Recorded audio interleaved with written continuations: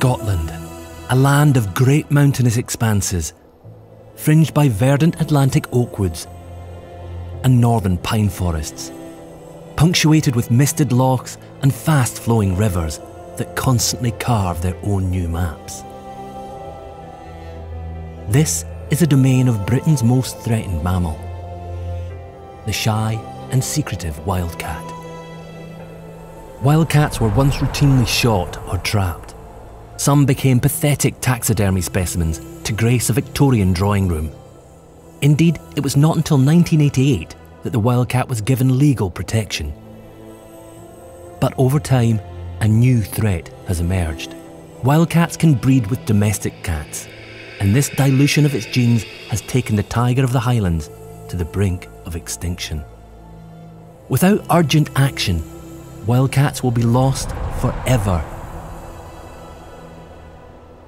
Saving Wildcats is a European partnership project led by the Royal Zoological Society of Scotland, which aims to restore wildcats by breeding and releasing them into the wild. As a matter of urgency, ambitious plans are underway to establish the first large scale, dedicated conservation breeding for release centre for wildcats. In a quiet location Near the Highland Wildlife Park in the Cairngorms National Park, the centre will bring together wildcat experts, a dedicated veterinary unit, and a specialised pre release training programme to prepare wildcats for life in the wild. Wildcats need a large, connected landscape that provides a diverse mix of shelter, food, and den sites.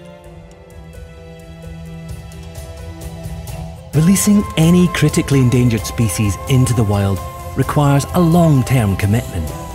It will be no different for wildcats. Working together, we can return Scotland's wildcats to their rightful place, but we need to act now.